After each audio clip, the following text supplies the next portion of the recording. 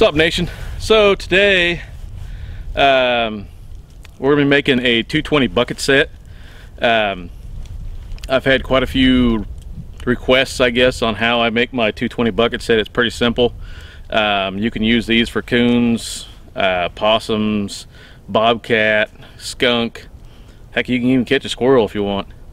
Um, they're pretty simple. I'm going to go into basically two different sets. Uh, just your normal bucket set, and then I'm going to go into uh, using the bucket set for Bobcat also. Uh, just a small little variance, not much, nothing fancy. So I guess we'll just jump right into it. All right, so we're going to go over a few things. Uh, of course, you got your bucket.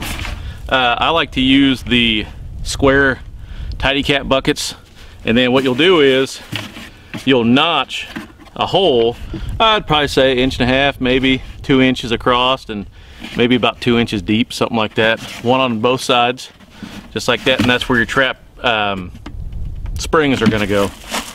Got a stick over here smacking me in the head. All right.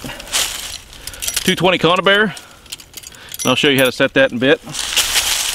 And then trap setters. Uh, I don't know if you can see that right there. Uh, what these do is they have notches in them right here.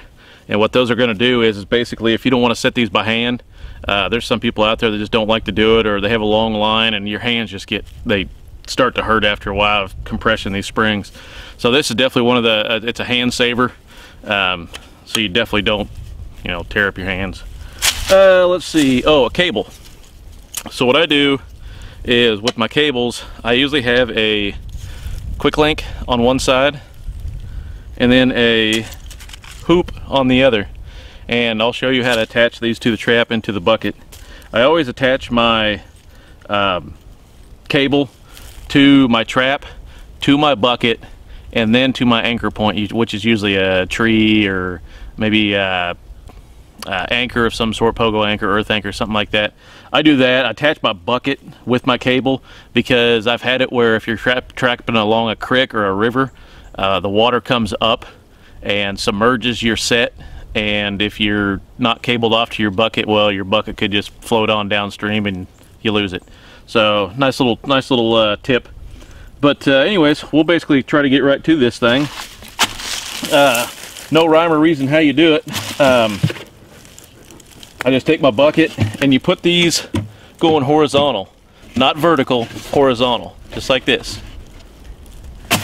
And what I like to do is try to find some sticks or something to kind of prop it up. So uh, if it's a coon they'll crawl over top of it and everything like that and sometimes they'll knock it over and well trap will go off and things like that. So um, I basically just kind of try to take some sticks just kind of you know try to keep it so they're not all pushing it around and things like that, you know, just kind of push things into the ground. Yeah, you, you, you, get the you get the idea. I mean, just secure your trap so uh, a coon or something just can't jump on the bucket and you know knock the thing over. Now, as far as the trap's concerned, on this 220 conibear, trying to get this thing here.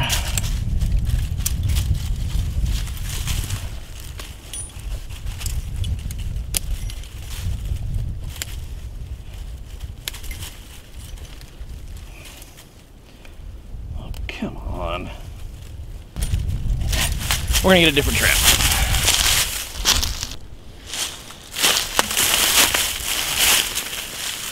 All right, so on this 220 conibear, you have your chain. It's got a little anchor hole, anchor hoop on it. And here's another thing. Make sure you're always trap or uh, tagging your traps, please uh, just so people know what's going on, who's there, different things like that, uh, whose trap it is. Uh, you can get these things cheap off any trap in place. Heck, even I think any kind of uh, arts and crafts store, I think you can get stuff like this. Uh, just your phone number and your name and maybe address if you want, whatever. I just got my phone number and my name on there, that's it. Uh, so anyways, these are the springs right here on each side. This here's your trigger and your dog and you got your safety latches right here. one on each side. That's for setting them. And that, uh, after you get those set, I'll, I'll make a big thing about that. Always remember to remove those before you leave your set. Because if you don't and it gets triggered, well, trap ain't going off. So, anyways, on how to set this thing, I told you about the, the trap setters. I'll show you by hand, then I'll also show you what the trap setters. So you can kind of have an idea of how this thing works. So you compress this spring right here. You bring those two together. And it can be a pain in the butt. But you bring those together.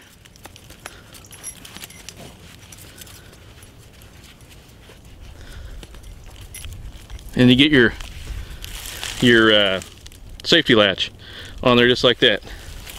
The other side, same thing. You're gonna do the exact same thing, except I'm gonna use my uh, setters here. And all you do is just put it on each spring here and here, just like that. See that? And then compress it. Just like that. And you put your safety latch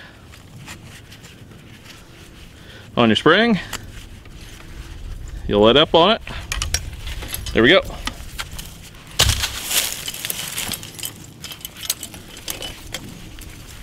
Now, I always make sure that my springs are facing completely horizontal and my trigger is right in the middle. Just like that. Trigger's in the middle, your dog's here on the back side, just like that. Then you just compress them, pull them together, just like that. You'll hold it. I don't know if you can see this. See if I can get in here. You got a couple different notches on this dog. I always use the closest notch like that. If you can see that.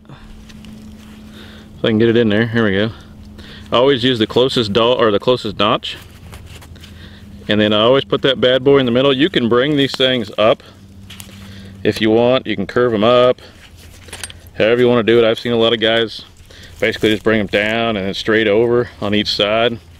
It just kind of depends on however you want to do it.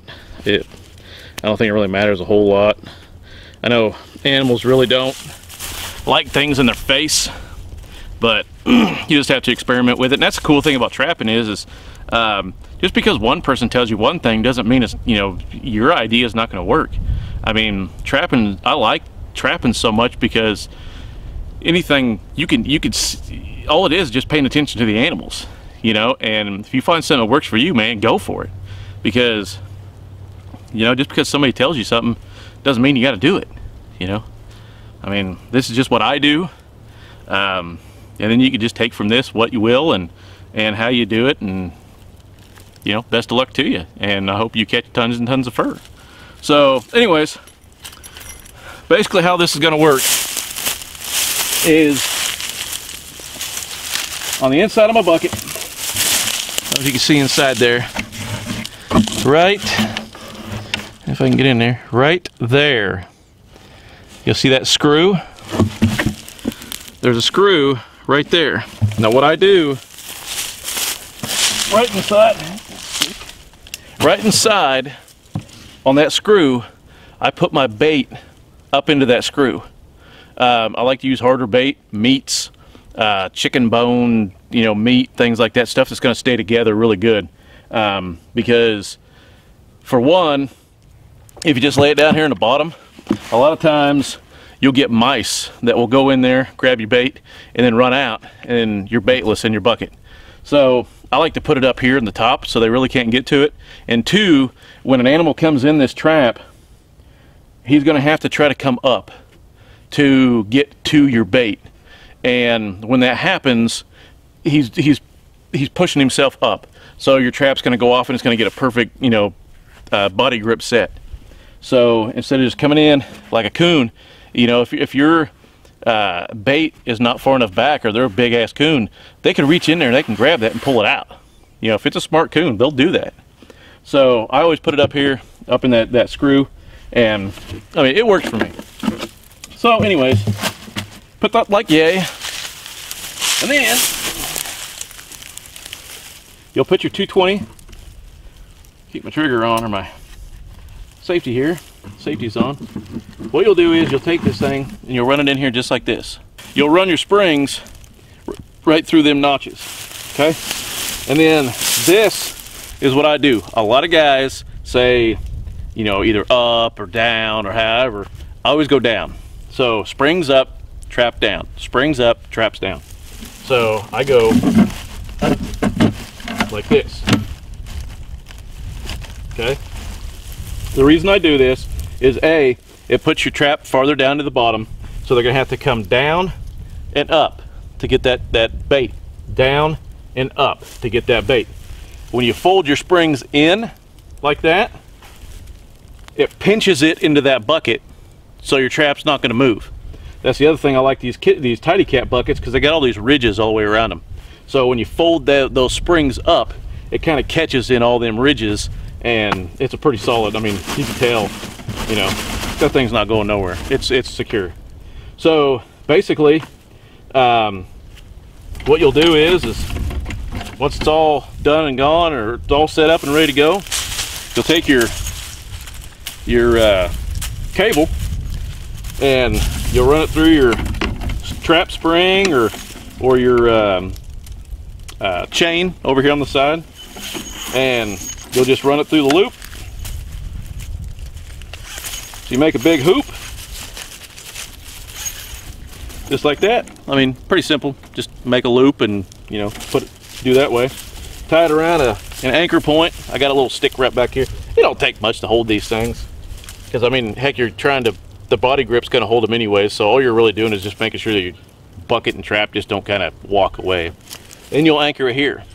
So now on this thing most of these buckets have handles well the bucket that I grabbed today didn't have a handle. I don't know where the handle went. Apparently it broke off at some point in time. A lot of times these things sit out in the weather for so long that the handles break off. Well, usually uh, I'll attach this cable to the handle on the bucket. And that's, that's usually where I attach to. If you want to, you can drill a hole uh, in the side of the bucket or something like that that you run your cable through. Uh, anything to attach the bucket to the cable. Pretty, pretty simple. So anyways, that's pretty much it on a, you know, how it works. Um, just remember, before you leave your set, take your, tri your triggers off, okay? Make sure you take, or not your triggers, I'm sorry. Make sure you take these trap holders off, or the spring holders, these keepers. Those little keepers right there. Make sure you take those things off, otherwise your trap will not fire, okay? always remember to take those off. I've done it, I've done it tons of times where I've been in a hurry and I've set up a good set and I've walked away and then I come back and checked everything. The bait's gone, the trap's laying on the ground and my, my safety locks are still on. I mean, it happens, I've done it. So anyways, that's pretty much how it works. Uh, I can definitely say you don't want to get your fingers in one of these things. Uh, they do hurt severely bad. So I would definitely not recommend doing it. But these things will go away from each other. So they're gonna go this way, out.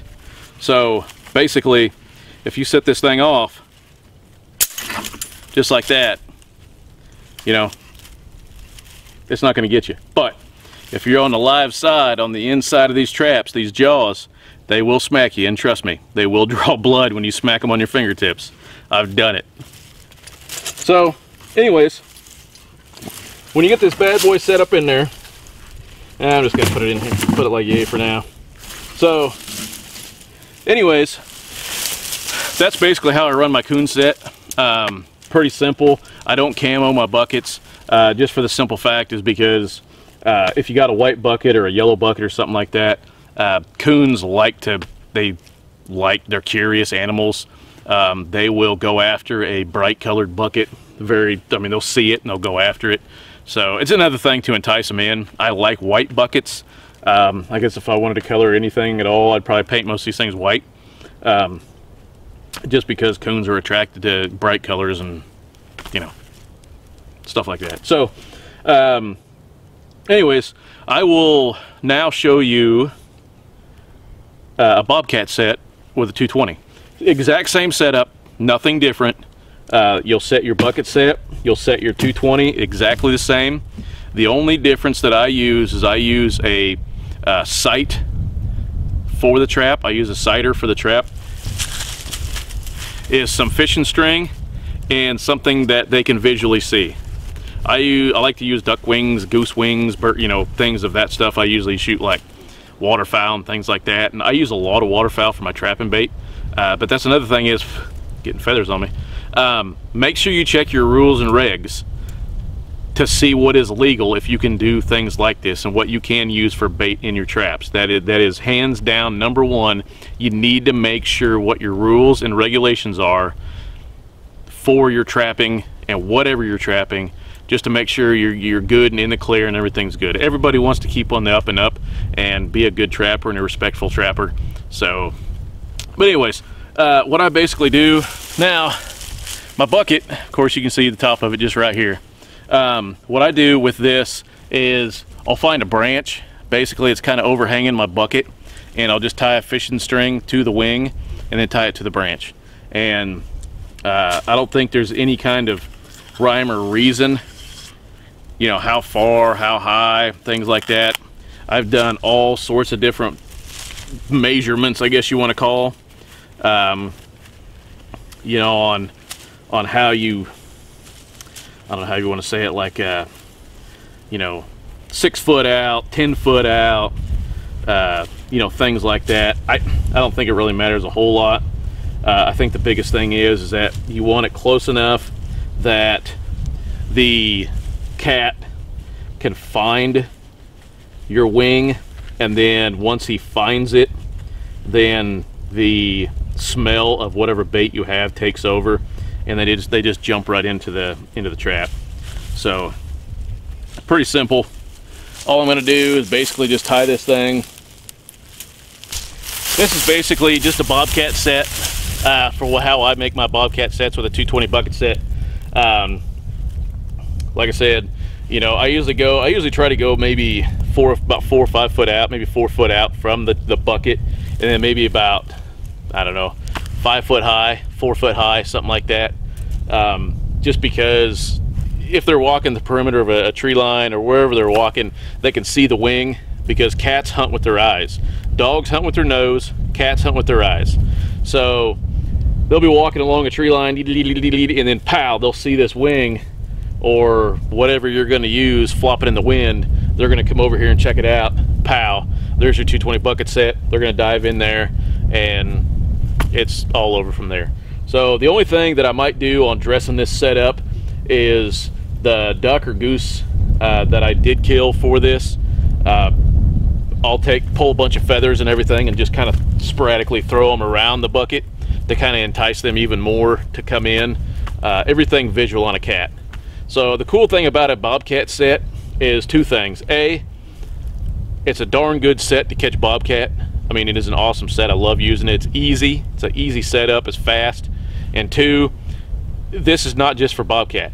You can catch coons, possums, skunk, uh, you know, bobcat, whatever in your area, whatever's going to dive into a bucket set, it, you're going to catch. So it's kind of a multiple set, basically. So it's very productive. I like it. I like the wing set. A lot of people use CDs. They use uh, Christmas tree garland, uh, anything flashy, anything that's going to move in the wind, things like that. So anyways, um, I guess that's pretty much it on my 220 bucket set. So if you guys have any comments or anything like that, uh, if you want to see any more of what I do and what my sets are made of, uh, comment down below. I want to hear from you guys. So I guess that's pretty much about it, guys.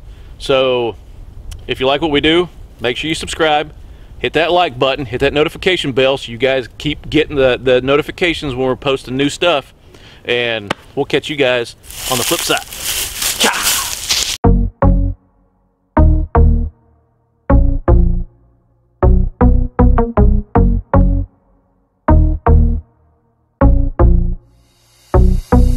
Thank